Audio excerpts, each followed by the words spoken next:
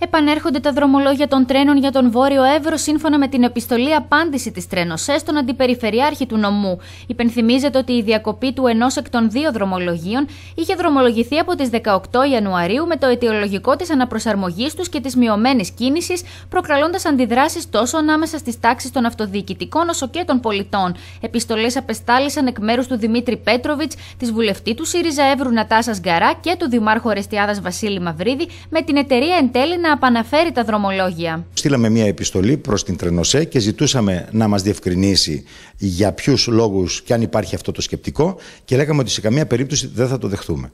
Παράλληλα επανήλθαμε στις ε, αρχές Φεβρουαρίου με άλλη επιστολή προς το Υπουργείο Υποδομών και Μεταφορών και θίγαμε επίσης και ζητήματα που έχουν σχέση με την αναβάθμιση των συγκοινωνιών, των σιδηροδρομικών συγκοινωνιών στην περιοχή μας, καθώς επίσης και το ενδεχόμενο σύνδεσης με γειτονικά κράτη και πώς αυτό μπορεί να απαντηθεί.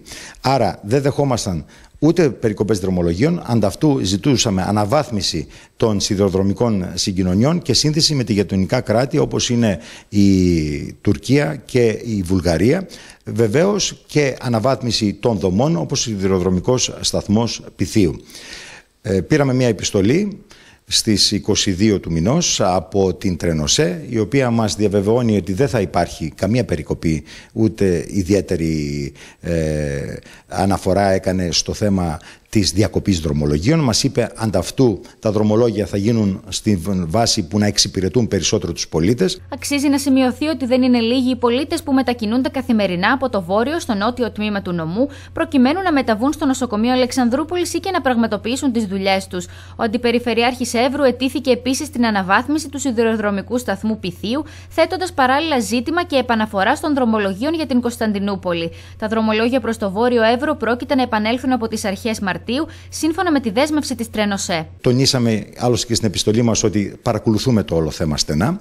Μας διαβεβαιώνουν λοιπόν ότι θα γίνει ό,τι είναι δυνατόν προκειμένου να εξυπηρετηθεί καλύτερα το επιβατικό κοινό με τους σιδηροδρόμους και δεν μας απαντά βέβαια στο άλλο σκέλος που έχει σχέση με την ανάπτυξη των σιδηροδρόμων στην ε, Τουρκία και στη Βουλγαρία. Δηλαδή στη σύνδεση που επιζητούμε ε, με την Κωνσταντινούπολη και ε, βεβαίως αν υπάρχει κάποιο νέο αναφορικά με τη σύνδεση με τον Μπουργκάς.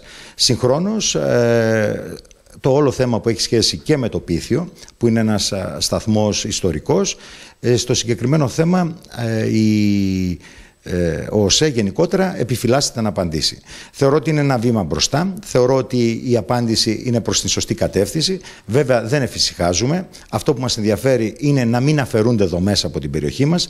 Θέλουμε να ενισχύονται οι δομές, να μην έχουμε δηλαδή αποψήλωση υπηρεσιών και ε, παροχής υπηρεσιών στον τόπο μας και σε κάθε ενδεχόμενο είμαστε ε, επί του έργου, παρακολουθούμε τις εξελίξεις. Δεν ε, θεωρώ ότι υπάρχει αυτή την ώρα πρόβλημα γιατί ο ΟΣΕ διαβεβαιώνει πως στις αρχές Μαρτίου όλα θα διευθετηθούν.